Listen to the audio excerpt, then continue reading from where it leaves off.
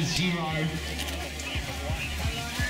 Up next, Rob Lovick on the red course versus Sam Hall on the blue. This will be a good one, guys. Sammy and Rob, good mates, have trained together for a long time. Expect this one to be pretty tight.